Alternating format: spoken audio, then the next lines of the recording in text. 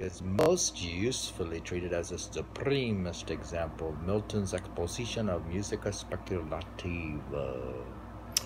Blessed pair of sirens, pledges of heaven's joy, spirit like, harmonious sisters, voice and verse. Wed your divine sounds and mix power employ, dead things with inbreathed sense, able to pierce, and to our high raised fantasy present that undisturbed song of pure consent. Ah, sung before the sapphire colored throne, to him that sits thereon, with saints shout and solemn jubilee. Where the bright seraphim in burning row, there loud uplifted angel trumpets blow, and the seraphic host in the thousand choirs touch their immortal harps of golden lyres. With those just spirits that wear victorious psalms, hymns, devout, and holy psalms singing everlastingly, that we on earth with undiscording voice may rightly answer that melodious noise as once we did, till disproportioned sin jarred against nature's chime, and with harsh din broke the fair music that all creatures made. To the great Lord, whose love their motion swayed in perfect diapason, who whilst they stood in first obedience their state of good, or may we soon again renew that song and keep in tune with heaven, till God ere long to his celestial consort us unite to live with them and sing an endless more endless morn of light. Wouldn't that be nice if we could go back and listen to harmony and live in a morn of endless light? We're doing analysis of At a Solemn music is mostly usually treated as the supremest example of Milton's exposition of musica speculativa. We're reading from uh, The Untuning of the Sky. Um, in the following discussion, we shall attempt to read in it in the context of 17th century attitude towards sacred music and also as a meditative poem involving the musical imagery of psychic toneness. At a Solemn Musica is certainly a meditation, but not having the set topics such as death required by Professor Martz' stricter use of the term. The circumstance providing provoking the meditation is or purports to be an occasional one. The poem's movements subsequently by no means resembles the involved symbolic action of the more metaphysically oriented poem of religious contemplation. Nor does the imagery involve the use of emblematic devices, the whole poem occasionally bearing the impresa-motto relationship to its title. Uh, as seems often to be the case with Herbert. Instead, the contemplation moves from the consideration of a concrete mundane event through a synthesized classical Christian account of the universal significance of that event to a final supplication based on that account. The whole argument of the poem preceding the final prayer is handled in a single 24 line sentence that the purely technical problem of sustaining this syntactic intensity through the mazes of independent clauses and varied line lengths is brilliantly solved in the poem, as been remarked before.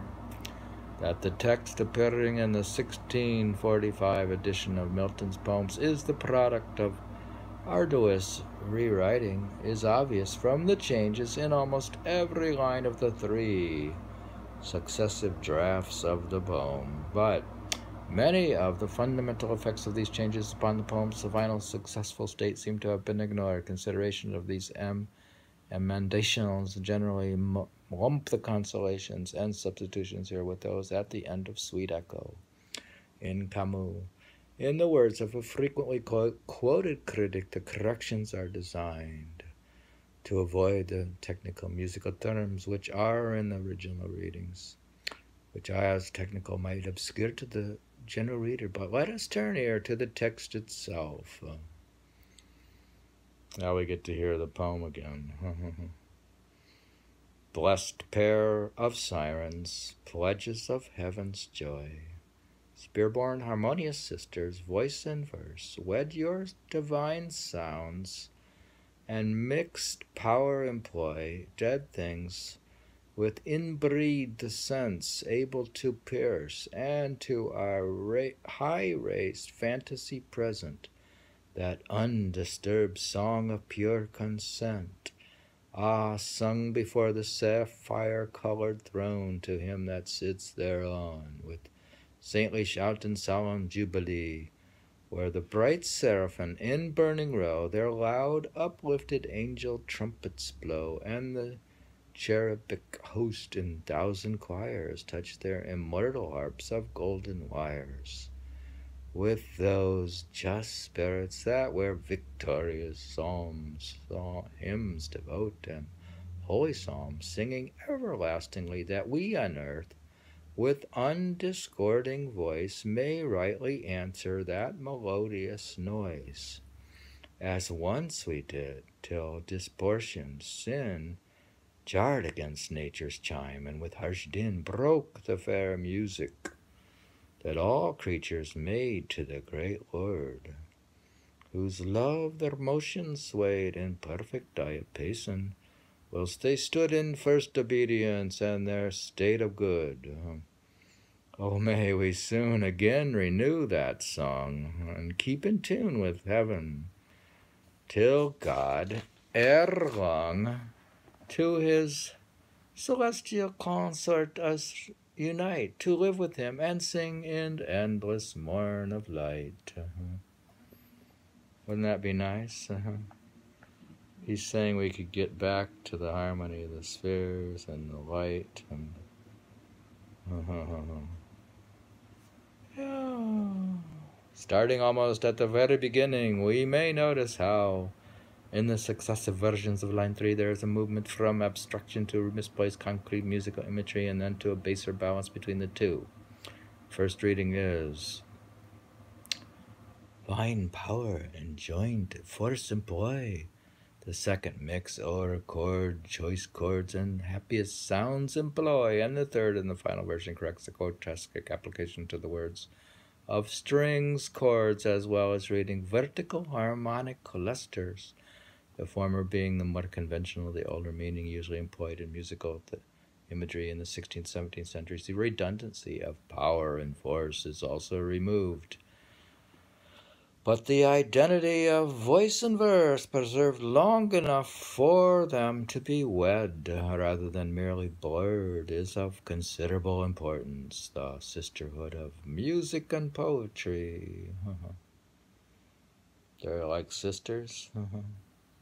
Do you think music and poetry could be like sisters? Uh-huh. Is a theme that we have observed here, and whether we are, are to read sphere born in the second line as carried unto the spheres and like the lady's echo daughter of the sphere huh? the purely pagan cosmological complement can be seen to be a conventional one but from the very beginning the christian theme of the intimation of the heavenly music as seen in actual earthly singing appears in pledges of heaven's joy and it is obvious that the invocation of the union of music and poetry will be made to signify more than merely a dual complement, as in Barnfield's sonnet to Spenser and Dowland, in which music and poetry are sisters and brothers. you think they could be brothers and sisters? Mm-hmm.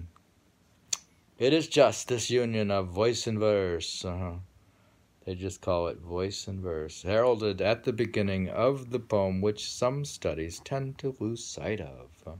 Perhaps the most significant emendation for the study of the poem's strategy, however, might be said to consist uh, of removal after line four and the second draft of the fourth lines that would have tended to hasten the conclusion of the poem and somewhat to trivialize the import. After the reference to the penetrating power of the words music before the before the mention of the hearer's state of mind, the two sisters, sirens, continued to be addressed. And whilst your equal raptures tempered sweet, and high mysterious holy spousal meet, snatches from earth awhile, us of ourselves and homebred woes beguile. In the first place, these lines continue the personification of music and poetry and reinforce the metaphor of wedding with an almost erotic image, the tempered sweet of tuning, coming under an interpretation of some mystical quasi sexual aura that Milton wanted to reserve the traditional figure of temperament and tuning for a later expansion seems obvious, and in that the later section will avoid the use even of the conventional sweet in favor of the more usual fair. Because of the former word's frequent erotic as a or at least amorous use seems to suggest something of what might have contributed to these lines' unsuitability, but it was probably the premature application, not a prayer to God, but a, a to a the semi-deified mu- Christian muses which rang most false, and the snatches from earth. After the serious consideration and fussing wholly replaced by happy, naive, native for homebred had to go because of the almost hyperbolic quality of the image which when contrasted with the more staid but more deeply believed prayer at the end in which the wish is expressed that the human hearer meditators may some day be brought in tune with heaven. Mm-hmm. I wish we could be tuned up. I think we could listen to the music of the spheres. The Platonic sirens who produce the actual sphere sounds are invoked here. Mm-hmm. Platonic. Uh, should we invoke Plato's actual sphere sounds and be brought in tune with heaven? Hmm. Wow. We are reading John Milton within the book The Untuning of the Sky Ideas of Music in English Poetry by John Hollander. Jenny, what do you think? Yeah, he's got good stuff. It's very heavy. Milton is very, uh, he's a heavyweight. yeah.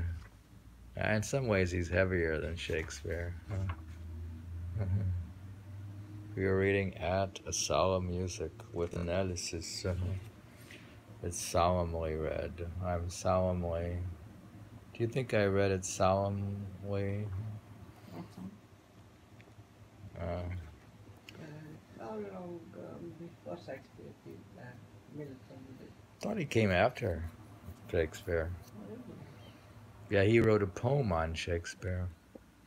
We're reading The Untuning of the Sky, ideas in music and English poetry, particularly about the harmony of the spheres and the music of the spheres, which is obtained by and reconnected by something like Surat Shabd Yoga in the East, that is.